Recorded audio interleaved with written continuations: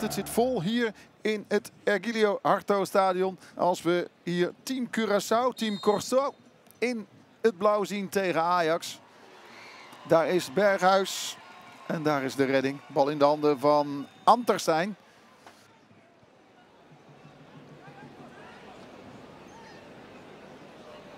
Dylan Timber.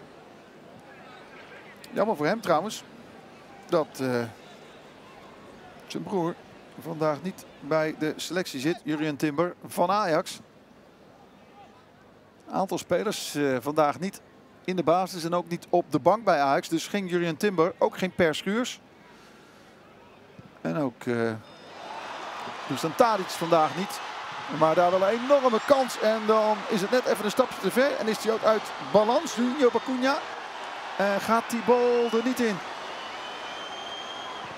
Is voorbij Maarten Stekelenburg. Maar uh, kan die bal dan uiteindelijk net binnenhouden. Maar niet in het doel krijgen.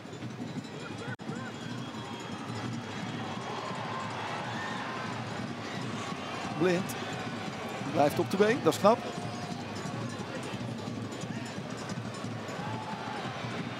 Bal. Maar dit is uh, buitenspel van Berghuis. En dan komen er even in één keer, uh, ik denk 11 al op het veld. We zijn nog geen half uur onderweg.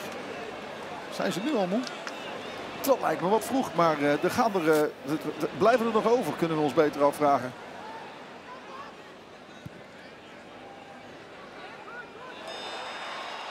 Hier komt de volgende kans en daar moet Gorter ingrijpen. De rebound is dan voor Marta.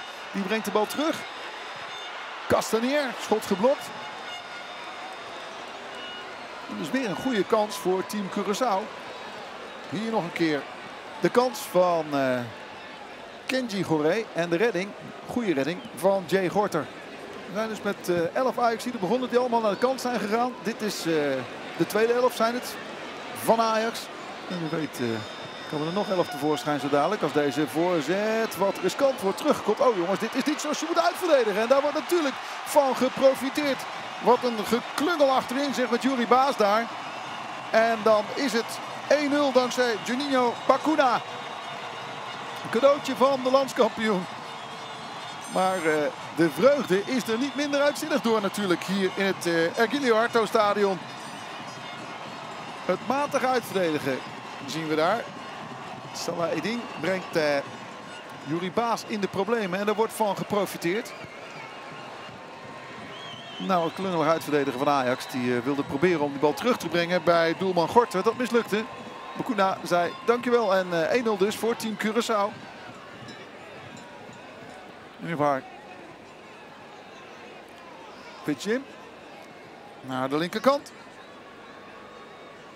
Salaidi brengt die bal uh, terug in de as van het veld. Daar is het druk.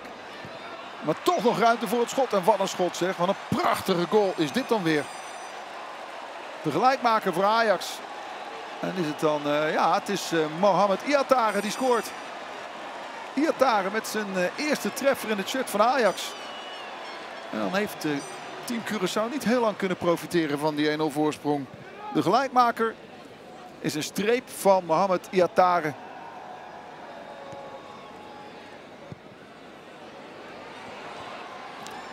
Mag worden weggekopt. Wachten op het schot. Dat komt nu misschien uit de tweede lijn. Het is een geplaatste bal en dan is het 2-1 voor Ajax. Prima goal hoor. Rasmussen is het die scoort. De een die uh, kwam twee jaar geleden al van uh, Noord-Zeeland.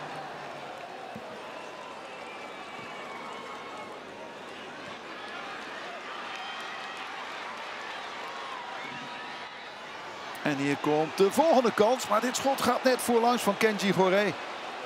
Niemand in de buurt. En Goré uh, schiet dan waar hij uh, eigenlijk had moeten kiezen. Zo blijkt uit deze beelden. En achteraf is altijd makkelijk praten natuurlijk. Voor een voorzet richting Castaneer.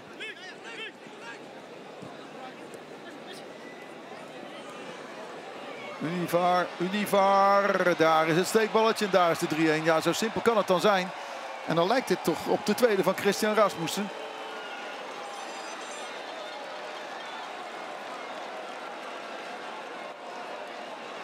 Inderdaad, Rasmussen die scoort. Univar verdient de credits. Dan is er veel ruimte achter Jetro Willems. En daarvan wordt geprofiteerd door Christian Rasmussen. En dan is het van dichtbij uh, simpel scoren.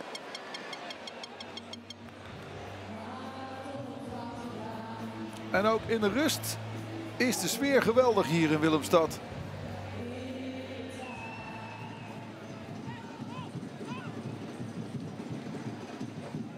Gorter, goede bal. Univar.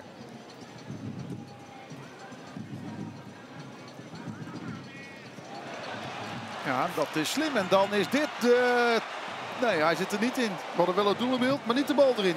Arjani Marta met de kans om namens Curaçao te scoren tegen zijn eigenlijke werkgever. Jong Ajax. Rasmussen de bal teruglegt daar. En Bobby opnieuw. Fitzjim. Ja, dit moet hem zijn. Brian Brobby, maar wat een ready tot twee keer toe van die doelman Jean-Marc Anterstein.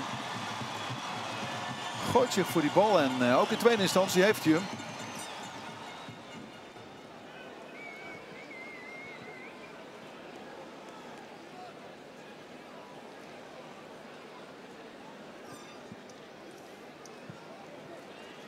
Jim. Bal diep. Ja, dat zal je altijd zien. Curaçao krijgt de kansen en dan scoort Ajax. En is het 4-1.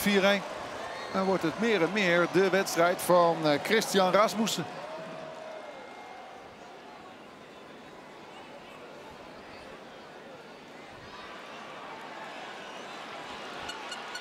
Hier komt team Curaçao weer.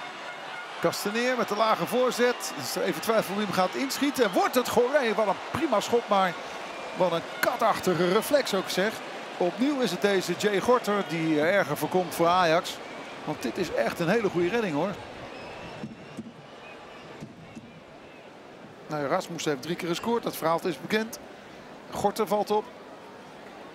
Hier is uh, Fitzjim weer. Steekballetje op. Daar is hij weer. Christian Rasmussen. Fitzjim speelt natuurlijk heel vaak samen met Rasmussen bij Jong Ajax. Heeft een heerlijk balletje in huis, steekballetje. En dan legt Rasmussen die bal nog knap over de keeper zo tegen het netje. En daar is het eindsignaal. Ajax verslaat team Curaçao. Het wordt uiteindelijk 5-1. En de grote man in deze wedstrijd was eh, zonder enige twijfel Christian Rasmussen.